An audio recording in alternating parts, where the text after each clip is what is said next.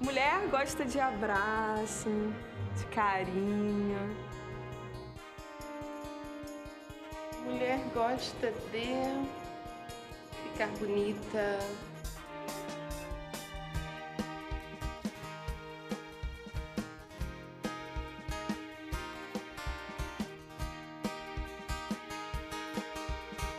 A gente quer ser feliz. Mulher quer ter o seu espaço.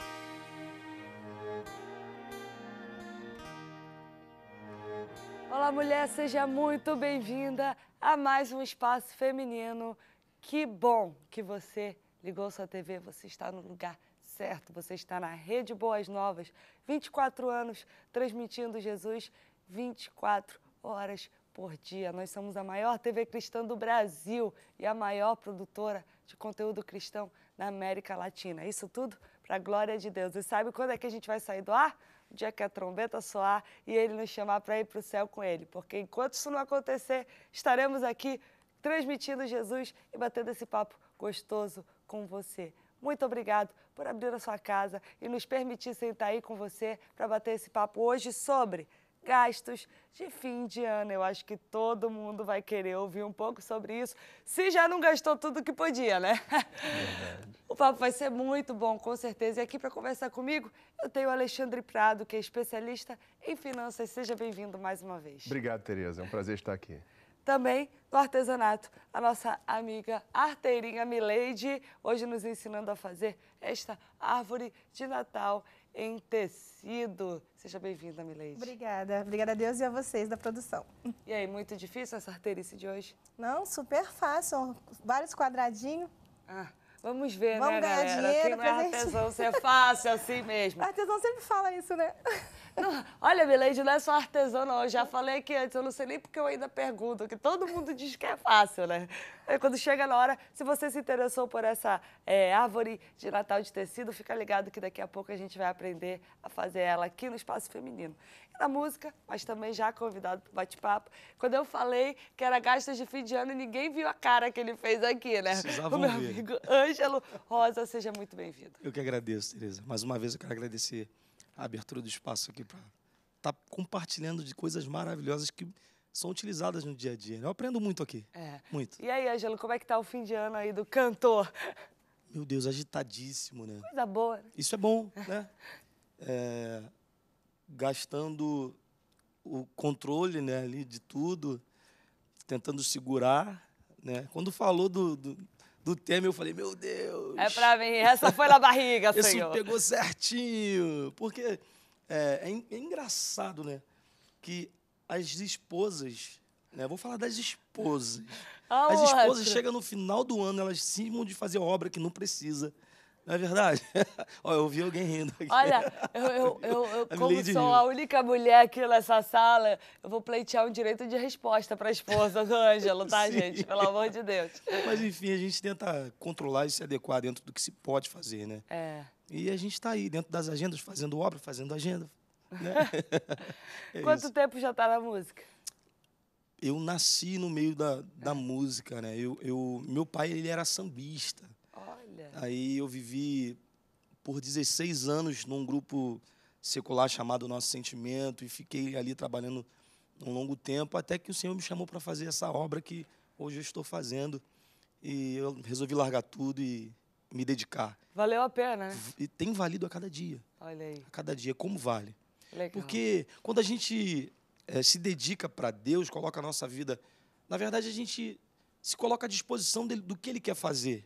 As coisas fluem, né? A gente não sente a falta do dinheiro, ah, sente, né? Você precisa do dinheiro para sobreviver, mas tudo se encaixa conforme a vontade de Deus, né? Perfeito. Então vamos ouvir essa voz abençoada aí do Ângelo com a música Vitória, é isso? Isso aí. O espaço é todo seu. Vamos lá. Recebe a vitória aí.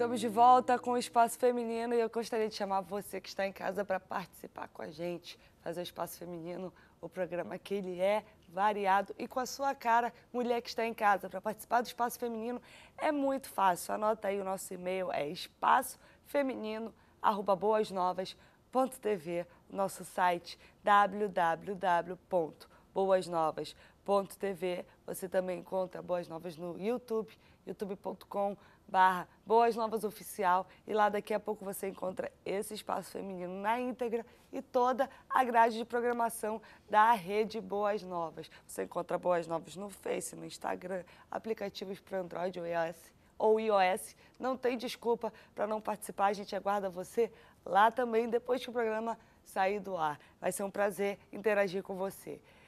Bem, hoje, se você ligou a TV agora, estamos falando sobre gastos de fim de ano. E aqui conversando comigo, tenho o Alexandre, o Ângelo e a Milene, porque agora nós já somos amigos. Precisa ficar falando nome e sobrenome, né? Verdade.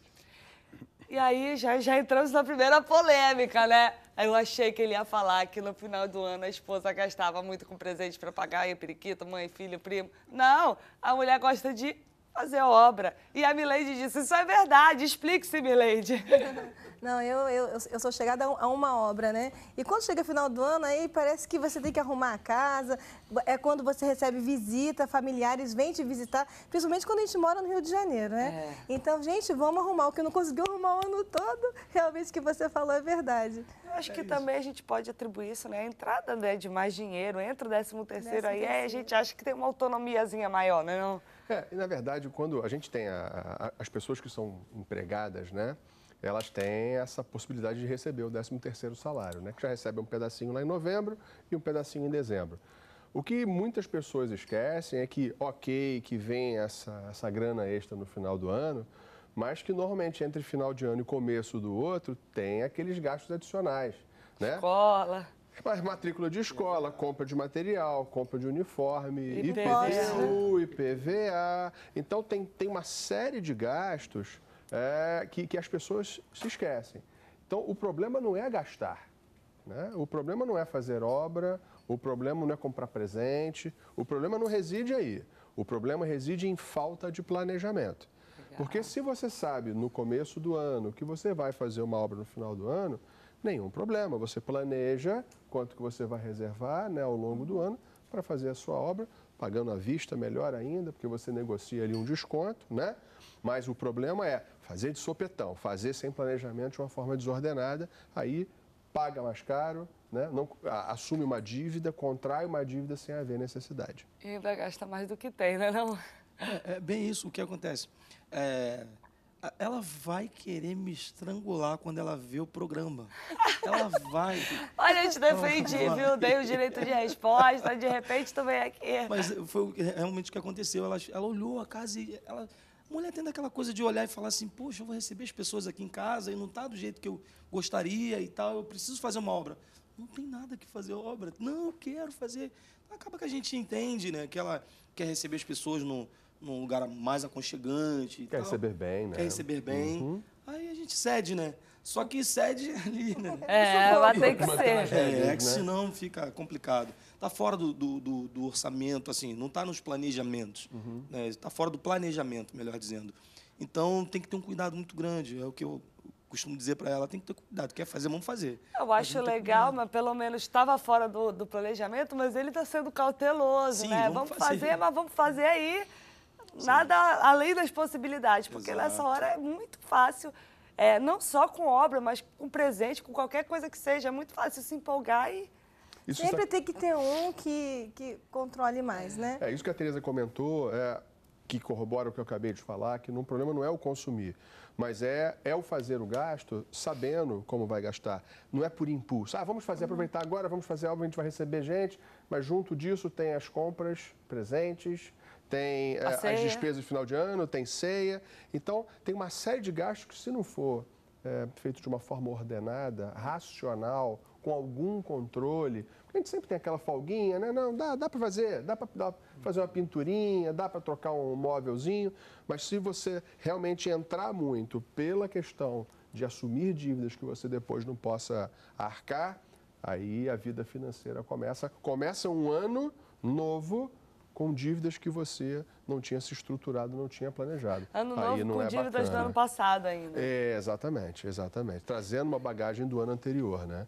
Então, dívida também não é o problema. O problema é aquela dívida cara, é aquela dívida que você não tem a condição, que a pessoa não tem a condição de arcar de uma maneira razoável. Por isso que a gente fala, ah, tem pessoas que compram eh, um imóvel para pagar em 30 anos. Ok, está dentro do orçamento, nenhum problema. A, a- a capacidade que o indivíduo tem de pagar, né, fazer o parcelamento, ótimo, está dentro do orçamento. A questão é quando se contrai uma dívida atrás da outra, né? É, compra um móvel, compra o celular, compra um apartamento, compra o carro, compra uma roupa, compra, faz uma obra e quando vai ver tem gastando, está gastando muito mais que do que pode do que pode arcar. Né? Alexandre, é só essa entrada maior de dinheiro ou existe é, é, alguma outra razão sentimental, sei lá, por que da gente querer gastar mais no final do ano? Porque eu sinto isso. É, o que existe, Tereza, é que é, existem estatísticas que mostram que pessoas, elas para suprirem carências, elas consomem. Então, existem aquelas pessoas que, ah, eu estou muito chateado, eu vou para o shopping. Aí faz uma compra. Fica longe. Então, é, é uma muleta. O consumo é uma muleta. Da mesma forma que tem pessoas que, quando estão chateadas, bebem, se drogam, comem chocolate, né? Mas elas, elas buscam no que está fora, numa muleta fora, né? Para suprir a sua carência, a sua necessidade, a sua depressão. E aí é pior ainda, né? Porque além de ter a depressão, mas eventualmente tem uma patologia, o que acontece efetivamente é que acaba contraindo uma dívida, né? né? Exatamente, é muito ruim, É, né? E o interessante é que o comércio ele entende isso e trabalha em cima disso. Lógico, né? o comércio e- ele quer que você consuma, quer lógico. mais que, que você consuma. Então, eh, o ser humano ele, é- ele é muito preso ao, ao consumismo, né? Isso aí Uhum. é, é fato. Então, quando ele vê é, uma pegadinha, um Black, Black Friday, meu Deus, uma pegadinha. Não, ó, a televisão tá, sei, 1.500 reais. Metade do dobro, né? Metade do dobro. É uma pegadinha que muitos caem nessa época. É, na verdade, é, até há pouco tempo eu estava debatendo numa, num, num- numa, num, num programa. é, o brasileiro, por, muitos, por muitas décadas, se nós pensarmos assim, é, há, cinco, 40, quatro, cinco décadas para trás, a gente está falando que as montadoras no Brasil eram quatro grandes montadoras, as Sim, nacionais sim, sim. e só. Né? A gente hoje tem o Brasil aberto para o mundo. O Brasil tem uma janela, uma porta escancarada para o mundo. Qualquer pessoa aqui no Brasil pode adquirir um, um produto da China, da Europa, dos Estados Unidos. Verdade. É, existe uma coisa que a gente chama de demanda reprimida. Por muito tempo, o brasileiro quis consumir. Ou, de repente, nem queria consumir porque não sabia o que tinha lá fora. Quando o mundo se abre e as possibilidades aparecem, o brasileiro começou a querer consumir. Só que foi numa época que também freou um pouco de alta inflação, de ter uma instabilidade na economia. Quando a gente fala nos últimos 20 e pouquinhos anos, que a economia deu uma estabilizada, o brasileiro começou a consumir. Então, a cultura do brasileiro de não ter uma educação financeira, até como política de Estado, porque as nossas crianças, elas não são educadas financeiramente. Elas Não querem mesmo. pedir, pedir, pedir, pedir, querem o brinquedo e elas não têm uma noção do valor. Então, a, a- a política de Estado, juntamente com a educação financeira em casa, a gente tem que começar a partir de agora. Porque muitas, muitos de nós não tivemos essa educação. Sim. Né? Mas nós temos que olhar para frente. E o para frente, se não for feito alguma coisa, e cada um de nós tem essa, essa responsabilidade para com as nossas crianças, a situação vai ficar pior ainda. Porque o consumo é no Brasil muito forte. O americano tem um consumo muito forte, já o europeu não.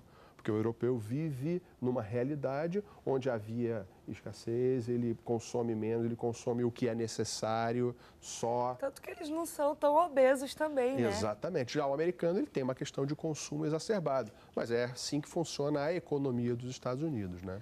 Como então a gente poderia ensinar? Porque algumas coisas assim, eu sinto, tem muitos pais que não tratam com criança, podem dizer, não, mas ainda é só uma criança, isso é preocupação que não é para criança. É, que, que tipo de atitudes a gente pode tomar que sejam saudáveis para já começar a ensinar uma Vamos criança? pensar assim: é, todos nós trabalhamos. É, não adianta é, nós pensarmos que queremos consumir algo ou queremos algo se nós não temos a capacidade de comprar. Hoje a gente tem essa noção, né? Então temos que passar esses conceitos para as nossas crianças. Você quer o brinquedo? Muito bem. O que você vai fazer para ter o brinquedo? Legal. Uma troca, né? É uma troca, né? Então é aquela velha história, ele é criança. Eu até entendo, eu também tenho filho, né? É, mas ainda que de uma forma muito simples, muito sutil, na linguagem da criança, desde a, de tenra idade, é mostrar para ela que existe um valor monetário no que ela quer, no brinquedo que ela quer. Então, é por seja exemplo, braçal, né? é, então o que a gente costuma fazer é, é, uma dica muito simples. Você quer uma boneca? Você quer um jogo? Quanto custa esse jogo? Ah, esse, esse custa 100 reais. Muito bem. 100 reais corresponde a X sorvetes, X idas ao cinema. então a gente mostra o peso relativo para ela poder entender. Olha, se você quiser o brinquedo, ok. Você vai ficar sem ir ao cinema 6, 7, 8 vezes. Então ela começa a ter uma fazer uma relação dos valores com as coisas. Além disso, realmente eh, colocar a ideia do, do valor. Você vai conquistar o saláriozinho na medida em que você fizer as suas tarefas, porque no mundo tem isso. se Sim, você, se sim, nós não sim. fizermos nosso trabalho, se você isso, né? não cantar bem como você canta, se você não vender os seus CDs, se você não fizer seu show, se você não fizer a sua arte, se ela não apresentar bem, ela não vai ter, nós não teremos o dinheiro para Claro, poder, não claro. é isso? Então. Por que não estabelecer essa premissa de como se um trabalho fosse executado pela criança? Ah, então ela vai lavar uma louça, ela vai ajudar a limpar uma mesa. Não cai o ela vai- dedo não, né? porque não cai o dedo e educa a pessoa para ela trabalhar. O trabalho enobrece, né? Então ela vai aprender a trabalhar e ela vai começar a dar valor ao dinheiro daquele, daquele jogo, daquele cinema, daquele sorvete. Então é uma primeira coisa muito simples que cada um de nós pode fazer. Sim. Aquilo, a- a- aquilo que você falou que o brasileiro ele é muito consumista, né? Mas acho que isso que deu o boom mesmo foi com a própria tecnologia, né? Tantos sites de compra, né? De uma hora para outra começou a surgir. Né? Então, isso aí instiga realmente a pessoa a consumir mais. A facilidade, o comodismo de você não sair de casa, você comprar pelo site. Tudo através de um clique, né? Um cliquezinho de botão e você Pesquisa gasta. tudo isso, mais. você fa- faz uma mensuração né, de, de preço, coisa e tal, para ver onde está mais em conta. E um cliquezinho que você já compra, né? E, e ainda esse Black Friday, como você falou, né? Aqui no Brasil é meio mentira isso. né? É, Milady, eu acho que esse negócio que tu falou é muito pertinente e, no meu ver, é, quando a gente vai para o shopping, a gente já vai meio que assim, vou comprar. É. Na internet, tu tá lá pesquisando, fazendo uma coisa, tu bate o olho no negócio, ah, gostei. É muito impulso, né? É diferente, eles encontraram, acho que até uma fraqueza nossa. Uma É, fraqueza. E aí, aí perigosíssimo, né? Isso é uma função psicológica, né?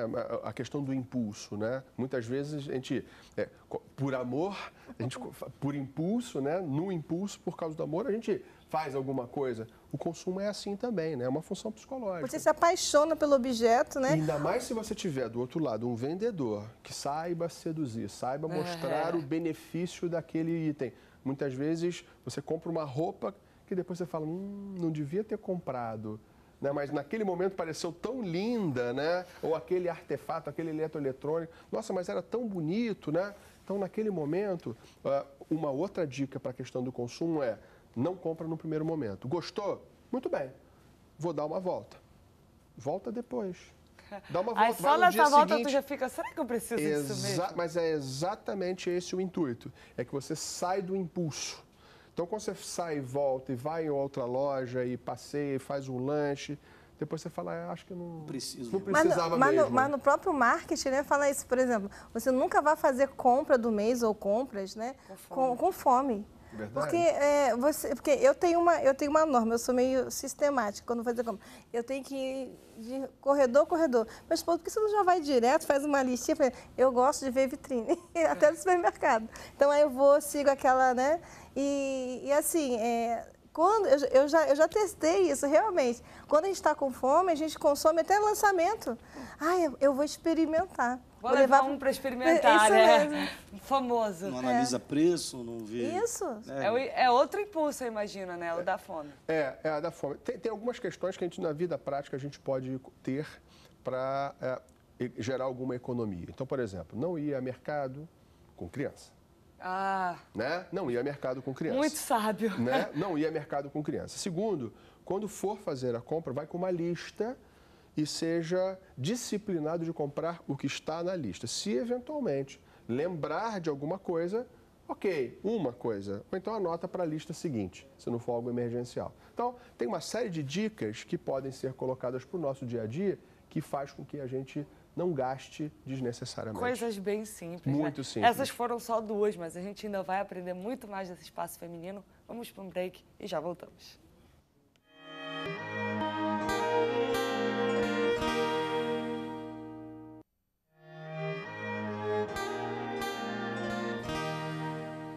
Estamos de volta com o espaço feminino para fazer uma arterice comportada, né? Não gasta muito, não. Não, não, não gasta muito, é, é tecido apenas, botõezinhos, coisas para decorar mesmo.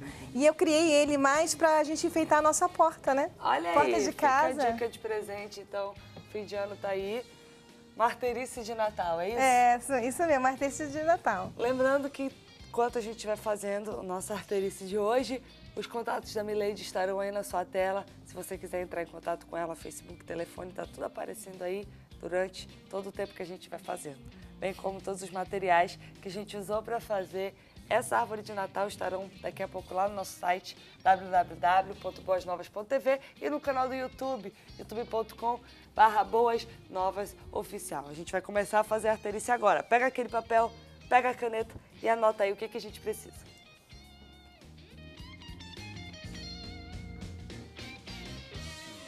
Para fazer a árvore de Natal de tecido, você precisa de sete cores de tecidos estampados ou lisos, uma manta, fitas decorativas, botões decorativos, argolinha de acrílico, linha de costura, agulhas, alfinetes, tesoura, refil e pistola de cola quente. Mais alguma arterice? É, nós. Nesse caso, eu utilizei a máquina de costura, né? Só que quem não tiver máquina de costura pode utilizar, é, fazer um pontinho em casa mesmo, né? Um pontinho, faz um alinhavo para frente, para trás, né? Essas Então, coisas mais atrás. especializadas, a gente encontra onde? Qualquer loja de, que, que vende ttecidos ou até mesmo que ven- venda artesanatos em geral. Porque hoje em dia todo mundo está vendendo um pouquinho de cada coisa, né? É, pode ver. O negócio é agradar o cliente. Então né? vamos lá Tá. fazer a nossa árvore de Natal. É, nós vamos precisar de medidas. Vocês façam os gabaritos, tá? Por exemplo, a base 30 por 30, né? Eu vou, eu vou explicar aqui, 30 por 30, A que primeira. ficou, né? Mais ou menos desse tamanho. né? Aqui, ó. Então, eu vou deixar isso aqui aberto, que eu vou explicar como que nós chegamos para esta peça ficar pronta, Aham. né? Primeiro, é, por que, que nós, eu pedi a manta, né? Ou um forrobel. Esse forrobel, ele tem mais ou menos uns, uns 3 centímetros, tá? De, de espessura.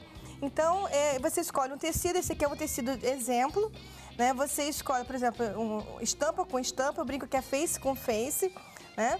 E face com face e a manta embaixo. Só que antes é, de você colocar a manta, para riscar melhor, então você risca com tecido, tá? Assim, coloca desse, desse jeito. Eu vou fazer com um tamanho menorzinho, pra, né, por causa do tempo. Então, assim, por exemplo, quando face com face, você pega, faz o molde, são, são seis medidas, tá?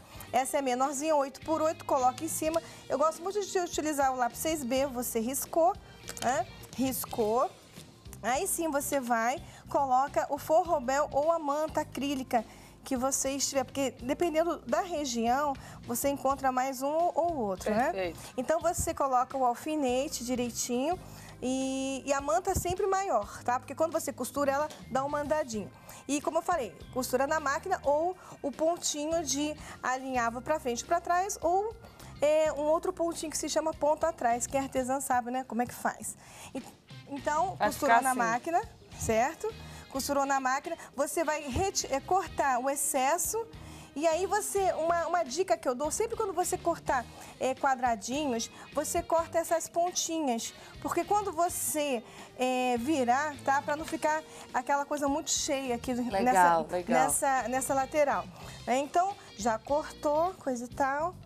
Não Então, precisa mais dos alfinetes, né? isso. Aí ficou, né? É, aí você vai dar uma passadinha no ferro. O ferro também é muito importante utilizar quando for fazer essa peça. Então você vai separar, tá? Um tecido do outro, porque a gente precisa fazer um picotezinho Legal. aqui, tá? Então como é que você faz? Você tem o maior cuidado que eu já adiantei. Você vai, puxa só um tecidinho e você vem com a tesoura ou com o abridor de casa, quem tiver. Abriu, né? E aí você vai desvirar, tá? Desvirou, vai ficar desse jeito aqui. É legal ter um tecido relativamente forte, né? Pra aguentar essa virada, né, não, Isso, Leite? isso, eu gosto muito de usar o o 100% algodão, tá? Então, por exemplo, aqui ficou com uma cicatriz, eu fiz uma cicatriz bem grande. né? Legal, Eu- mas porque a artesã né? também é uma, é uma cirurgiã, né? Então, é, depois que você desvirou, você vai é, chulear isso aqui. Tá? Depois que você chuleou, se você tiver uma máquina de costura, como eu falei, né? Ou faz um pontinho na mão mesmo, você vai fazer essa, é, essa margem tá? Só para dar um efeitozinho, tá? E aí sempre passando o ferro. Eu fiz também com feltro, tá? Para você ver que você pode fazer Ah, tecido com legal. tecido ou com feltro, tá? Então assim, por que que você tem que abrir sempre nessa em uma das pontas? Porque é onde você vai fazer a dobradura. Aí Ó, ele vai caso. sumir. E isso vai sumir, ó. Então aqui, por exemplo, com feltro, olha o efeito que dá, que lindo, É. né? Ou, ou o próprio tecido, né? Aqui, ó. Também. Então aqui, é, nós aqui, por exemplo, eu já fiz com, com tecido, né, que nós vamos E é legal, utilizar ó, da própria árvore. como ela falou do ferro, né? Agora pra ajudar a segurar no lugar. Isso mesmo. E aí, se- aí você faz a dobradura, né, e passa a cola quente. Então aqui, ó, adiantei os passos, né? Eu já fiz essa dobradura, ó. Então deixa eu passar a medida rapidinho aqui, só para elas anotarem, né? Então a, a primeira tá em 30 por 30, a segunda 25 por 25, vou te passar aqui. É, depois 20 por 20, 15 por 15, 11 por 11 e 8 por 8 centímetros, tá? Isso é pra fazer uma igual desse mesmo tamanho que a gente tem aqui, tá? Mas aí, de repente, você em casa Você quer fazer outro tamanho. Pode fazer menor, tá? Também. Tá? Então aqui, por exemplo, todos eu já dobrei para adiantar, né? Só deixei esse aqui. Então, para mostrar também que, ah, da mesma forma que eu fiz com a pequena, eu fiz com todos os tamanhos o mesmo sistema de abrir, tá? Para poder desvirar, passei na máquina depois. Então aqui nós vamos dobrar e vamos passar a cola quente, ó. Tudo, é- ele é prático para fazer, ó. Você passa um pouquinho aqui. À medida que você vai fazendo a sua peça, depois você vai é, colando melhor, né? Então aqui, ó, fiz com, com, as, com as seis peças, né? Então, o que, que nós vamos fazer? Começar a montar, né? Então vamos começar pelo, pelo pequenininho aqui, ó. O pequeno, aí depois vem essa medida, Sim. né? Então, como é que nós vamos montar? Qual- Você monta do jeito que você quiser, pode ser é, dando espaço maior ou menor. Eu me guio por esse próprio desenho que a gente faz aqui, ó. Legal. Essa margem, você continua aqui, ó. Essa é a dica que eu dou, tá? Ah, maneiro. Você aqui, ó. Tá vendo Pega aqui, essa ó? margem de dentro, Isso, a daqui da da ponta pra dobra. cá Perfeito. tá? Aqui, ó, continuando. Então, vê se vem com a cola quente. Deixa eu botar mais pertinho. Aí você dá só um pontinho, tá? Porque qualquer coisa, se, se colar errado ou no próprio manuseio ela sair, você tem como, né, dar uma consertada. Então, depois desse aqui, né, vem essa medida, certo? E vai seguindo o molde. E vai seguindo, ó. É. Aqui, ó. Deixa eu só colar aqui. Vamos montar ela aqui, mais ou menos. E aí nós vamos para os outros detalhezinhos que são das fitas. Tá vendo como é tranquilo, ó? Você coloca esse guia aqui, ó. Sim. E assim, eu utilizei é, várias estampas diferentes, porque algumas vezes a gente quer fazer alguma coisa para Natal e a gente só tem um tecidinho de Natal e tem outros tecidos. Será que vai ficar legal? Então, eu coloquei um tecido estampado de Natal e os outros são tecidinhos que você já tem em casa É. mesmo. Né? esse aqui também se passa por Natal bem, ó. Passa, né? Parece que são aquelas luzinhas, É. né? Então, ó, segue, nunca esqueça, tá? De fazer, se guiar pela própria margem de um para o outro. Depois, cola melhor. Ó, de novo. E eles já vão se guiando, né? Porque eles mesmos já, já dão um jeito. Por isso que o ferro é importante, gente. Porque à medida que você vai fazendo essas dobraduras, você vai é, passando, tá? Para ela ficar bem moldada. Hein? Então, aqui, ó, já montamos a árvore. E aí, Rapidinho. é rápido, né? E então a estrelinha. A estrela, é, eu, eu peguei aqui, eu gosto muito de utilizar gabaritos. Você, a estrela não precisa ser só o formato de estrela, pode ser estre- de flores. Então eu quis usar, né? Eu escolhi esse modelinho aqui de gabarito, né? Eu faço o meu molde e aí risquei da mesma forma que esse, fiz a dobradura, tá? Tem a Direitinho. cicatriz. Isso. Tá? Então deixa eu tirar aqui e vou mostrar a montagem, como é que eu fiz essa parte de cima.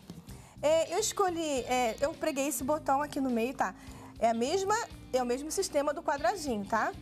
Viu? Isso. Aí eu fui, preguei o botão. E essas fitinhas aqui é uma fitinha aramada que eu fiz. Eu só fiz uma argolinha, costurei. Cada uma eu fiz uma argolinha e fui costurando. Depois eu reforcei com a cola quente. Só para dar sentido como se ela estivesse iluminando, Aham. tá? Assim, ó. Perfeito. Então, fácil também, né? Então aqui, por exemplo, o lacinho. O lacinho eu também escolhi uma outra fita dourada aramada, certo? Ela tem 90 centímetros.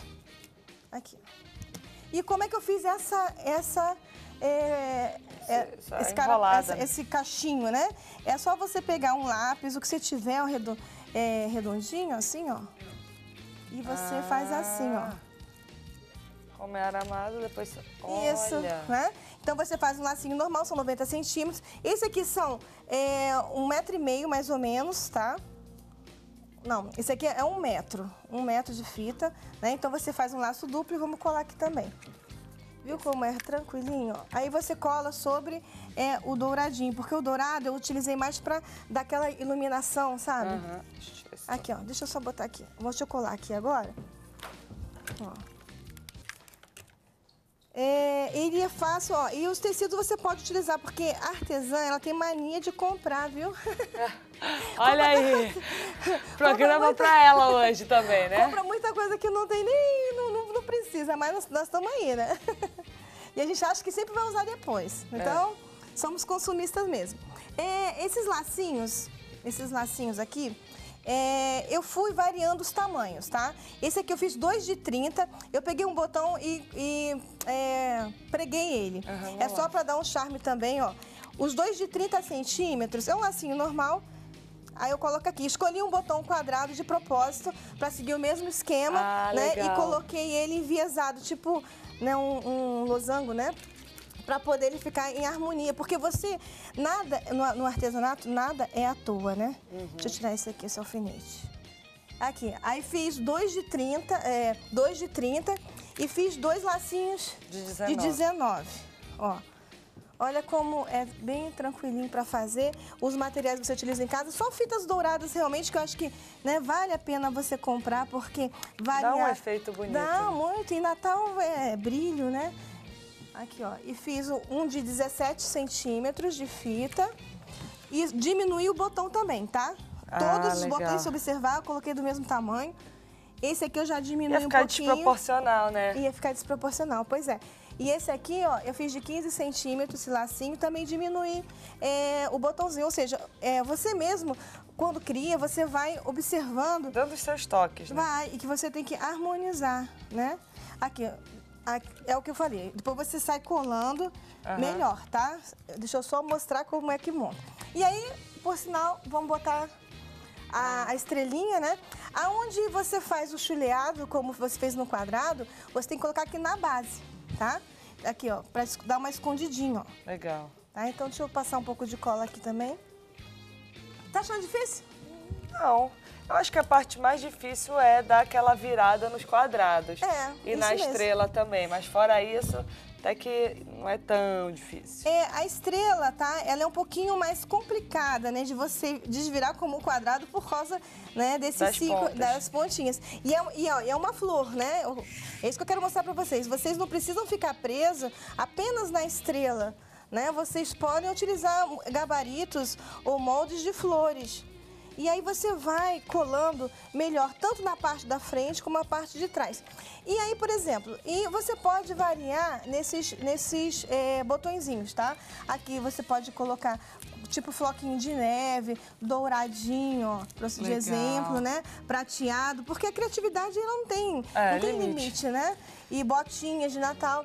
E esse aqui é aquela argolinha que eu que você coloca aqui atrás, né? Pra poder de prender, né? acrílico, é para você poder prender e vou lá, tá pronta. Marteirice A pronta. carteirice super é, interessante que você pode fazer para vender, para presentear. Isso aqui é um ótimo presente, porque quem não quer colocar um enfeite na porta da sua casa, né? Legal, legal. É, e aqui você põe um botãozinho também, tá? Eu só não coloquei esse porque eu quis mostrar que você pode botar Uhum. uma botinha ou você pode é, pregar também o mesmo do- isso, o mesmo daqui, como nós Perfeito. fizemos ali. Leide, muito obrigada. Espero que você tenha curtido a dica. Se você se perdeu em alguma parte aí, assiste de novo lá no nosso canal do YouTube e lá no nosso site estará tudo também explicadinho, passo a passo. A gente vai para um break e já já voltamos com mais Espaço Feminino. Fica aí que a gente já volta.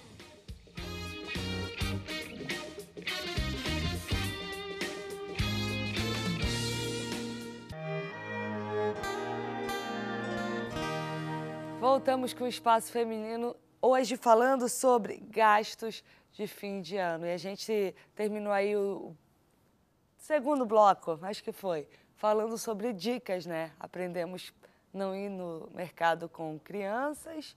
E qual era o segundo? E ir com uma lista, né? Ir com uma lista. Aí eu passo de volta para ele, porque essas dicas eu acho que são muito boas. E- também não pode, É. né? Também não pode. É, mas quando a pessoa ela, ela é disciplinada, se ela vai com fome ou sem fome, Lancha é, primeiro, não né? importa. É, Não importa, né? Na verdade, se ela tem uma lista, que foi a dica anterior, e ela é disciplinada para usar, para seguir aquela lista, se ela identificar realmente alguma coisa extraordinária, uma promoção assim, realmente fora do comum, ok, compra, né? Seja flexível. Mas é, uma outra dica importante é principalmente para gastos de final de ano. A gente está falando de ceia, né? Procura identificar, procura refazer a ceia ou bolar a ceia com produtos da época. Então, por exemplo, é muito comum nessa época bacalhau, né? as, grandes, as aves, né? são produtos mais caros, né? que em outras épocas têm até um preço mais baixo. Então, procurar substituir esses produtos mais caros por produtos mais baratos. Né? Então, ou peixes ou aves mais comuns, uma carne de porco pode ser interessante. Procura frutas, procu- procure as frutas da época, que são frutas mais baratas. Né? Então, ah, eu quero botar um morango. Morango não é época de morango, substitui por uma manga, que é tão docinho, mas é colorido também e é gostoso. Então, procurar substituir por itens da época, que costumam ter preços mais vantajosos. Quanto à questão, por exemplo, de presentes, né? Se puder já estimar né, que vai, ah, tem filho, então vai ter que dar presente no final do ano. Eventualmente já compra antes, né? Compra antes. Então, por exemplo, é, é, vai comprar um brinquedo que é o lançamento, que a criança quer. Seis meses antes já começa a fazer a campanha. Compra seis meses antes, né? É, que paga à vista, já com desconto. Essa época sempre tem um movimento maior, nem sempre tem um volume legal. Então, é interessante que a pessoa se planeje. A dica, a palavra-chave é planejamento. Uma, uma, uma dica bem em geral, não necessariamente para o final do ano, é quando a gente consegue entender como é, qual é a nossa fonte de renda, de onde vem o nosso dinheiro. Algumas pessoas têm salário, algumas pessoas têm honorários, outras pessoas têm, são, são eventualmente profissionais liberais e não têm uma renda fixa, mas conseguir entender, às vezes tem uma renda de aluguel, tem algum Sim, imóvel. sim. Então, entender de onde que vem essa renda e quanto é essa renda. Depois, do outro lado, é entender os gastos que tem. Separa esses gastos em, uma- em três categorias. Aqueles gastos chamados imprescindíveis. A alimentação é imprescindível. Tudo bem que tendo alimentação tem aquele que é supérfluo, mas estou falando daquela alimentação básica, energia elétrica, Contas, né? energia elétrica, gás, a gente não pode ficar sem, né? Água, muito bem. Tem os gastos que a gente chama de importantes. TV a cabo é importante? Para algumas pessoas, sim. De repente, um, um pacote de internet muito caro é importante? Pode ser, de repente, pela atividade profissional. E o terceiro grupo são os supérfluos. Então, é aquela, é aquela pizza de todo final de semana, é aquela saída de todo final de semana, ou duas, três vezes por semana. Então, procure entender para onde está indo o gasto. Uma vez que se entende para onde está indo, depois fica mais fácil. Caso necessite dar uma enxugadinha, até para compensar, né? Ah, quer fazer a obra? Muito bem, a gente vai ter que tirar de algum outro lugar. De onde? Olha, pelos próximos dois meses a gente vai reduzir o pacote de TV a cabo ou da internet, ou vamos deixar de sair três vezes por semana, vamos sair uma vez por semana ou duas vezes por mês. Então, é uma conta que tem que se fazer fechar. Mas essa conta só vai fechar quando as pessoas eh, têm a capacidade de entender quanto que entra, quando entra, como entra e como que sai, quanto que sai, quando sai. Então, essa matemática é relativamente simples, só que a gente não é educado, voltando a falar sobre educação financeira. Cartão de crédito. O cartão de crédito, é, até no passado recente, o cartão de crédito era tido como um grande vilão em virtude das taxas de juros praticadas. O cartão de crédito em si ele não é vilão, porque o vilão é a pessoa que usa sem controlar. Porque eu uso cartão de crédito há, há muitos anos, só que não entra no rotativo. A questão era eu entrar no rotativo. Agora, com a mudança na legislação, mais recentemente, não permite que se tenha o rotativo um mês atrás do outro e aí ficavam dívidas absurdas.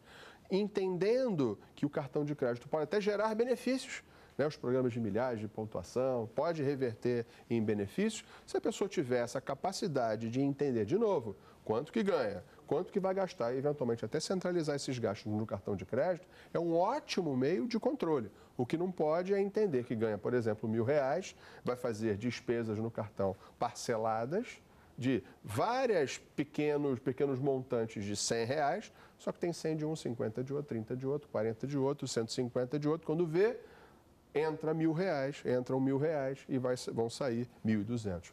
Não tem capacidade de pagar, aí assume-se dívidas com juros altíssimos, de cheque especial. É não ter um limite alto, né? Exatamente. É, mas, de novo, a questão do limite também não é o problema. O problema é- são as pessoas que, por impulso, que a gente falava nos blocos anteriores, o consumo exacerbado pelo, pelo impulso é que, não tendo esse controle, acabam consumindo eh, de uma forma errada, assumindo dívidas que não podem arcar depois.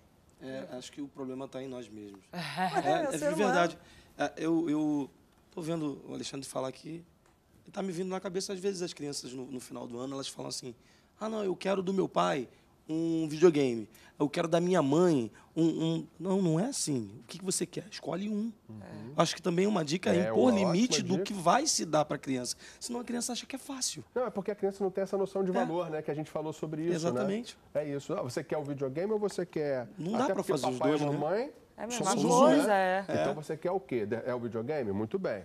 Agora, se não for o videogame, você vai ter que abrir mão de uma coisa. Tudo na vida da gente, para cada escolha, a gente tem uma renúncia. Então a criança tem que aprender também essa questão, porque acaba dando valor né, ao videogame. Se, se não cuidar, vai quebrar e vai ficar sem. Né? Porque por mais que se tenha, que o pai tenha condição, os pais tenham condição de prover aquele brinquedo, aquela facilidade, a gente está educando a criança para o mundo, né? E muitas vezes o mundo não vai ser tão permissivo. Então, é, ele, né? é, ele, ele vai dizer muitos nãos que os pais não dão. E, e o, e o- e o que eu vejo também é que na nossa época, os nossos brinquedos eram diferentes. Era uma bola, era uma boneca. Hoje em dia, elas estão muito assim, é só tecnologia, é um celular não sei o quê. Né? Então, assim, é, são presentes muito caros. Verdade. E, e Né? que mudam, é, é, até em virtude da tecnologia, eles mudam com muita frequência. É o modismo, né? O modismo, na minha época, era ter uma pipa diferente, era uma bolinha de gude que era diferente, É. né? Era o peão novo, né? Então, hoje não, hoje é o celular da última, de última geração que custa milhares de reais. Então, é, é também esse, esse conceito do estar ligado a- a- ao outro, né? ao que o outro, o consumo Isso do... é muito- Isso é, é- é muito interessante do, do nosso papel como pais de mostrar que o valor não está Mas no a outro. mídia ensina muito isso, porque outro dia eu vi uma, Claro. uma manchete num portal de notícias conceituados. Ah, é, pretendente é princesa de não sei aonde, é, a bolsa que ela usou em tal evento se esgotou em duas horas. Eu nem sabia que ela estava em evento, que bolsa que ela tinha usado, que não sei o quê. Como é que essa bolsa acabou em duas horas? Como é que descobriram onde vendia essa bolsa? Como? Sabe? Eles inventam tanta coisa e aí É porque Quanto muitas vezes elas nem compram, né? Elas ganham. né? Isso aí é marketing envolvido. Também, então, assim, também. ela- eles, a- a- a- as, as grandes lojas, né, e, e marcas dão de presente. em, em troca né? de, de Troca de divulgação. visibilidade. Isso mesmo, porque como é uma, uma pessoa que está na mídia, né, então ela, ela Não nem vende- aí pra gente, né? É verdade, é verdade. E, na ver- muitas vezes o consumidor não vai ter a capacidade financeira de comprar aquela bolsa da princesa. Mas quando ele chega na loja e fala, eu quero aquela bolsa, ó, aquela bolsa custa tanto, que é um preço para reis, né? Ou para princesas. Aí ele fala assim, ah, tá bom, mas aí você tem uma outra aqui que é mais baratinha que talvez você compre. Assim que ele faz Isso, o giro. quando, isso, assim, aquela não tem, mas a loja aqui, perto de casa, fez uma parecida. É verdade, é verdade. Rapidinho também. É, é, o- o- a a questão do consumo, de novo, o consumo ele tem que ser consciente. Né? Quando a gente fala de consumo consciente, é, é ok consumir, é bom a gente ter as facilidades do, que o mundo se- nos apresenta, mas desde que nós consumamos de uma maneira consciente, a gente não vai ter problema na nossa vida financeira, a gente não vai ter problema com as nossas crianças, com quem a gente tem responsabilidade de educar, né? porque não é a escola que educa, somos nós. Né? Eles dão conhecimento formal, mas educação é em casa, é com os pais. Sim, né? Então, o nosso papel como educadores financeiros é fundamental. É como ele falou, então o problema somos nós.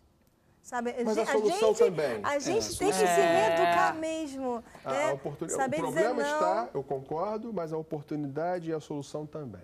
Legal.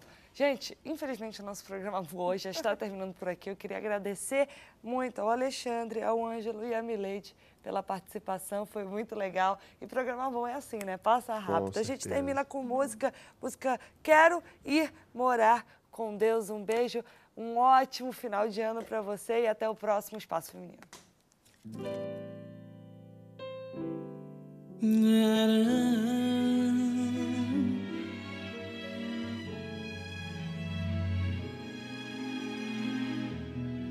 Tenho certeza que vou encontrar com Deus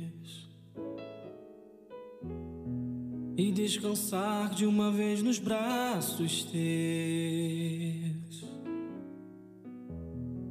Como espero, Senhor, por este dia. Pra completar de vez minha alegria. Oh Pai, eu vou morar onde tristezas não há, alegria.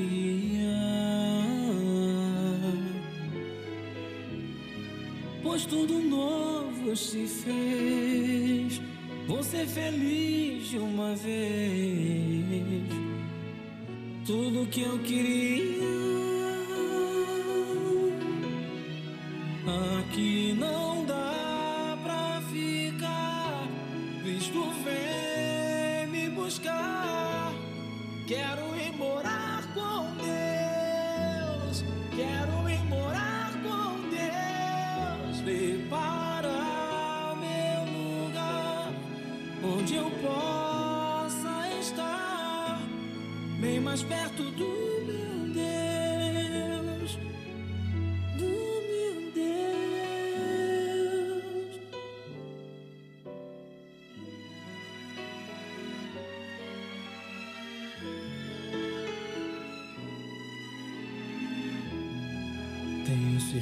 Que vou encontrar com Deus e descansar de uma vez nos braços teus. Como espero, Senhor, por este dia para completar de vez minha alegria. Pai eu vou morar, onde tristezas não há, não há, só alegria. Pois tudo novo se fez, vou ser feliz de uma vez. Tudo que eu queria Aqui não dá pra ficar. Cristo vem me buscar. Quero ir morar com Deus. Quero ir morar com Deus. Preparar o meu lugar onde eu possa estar bem mais perto do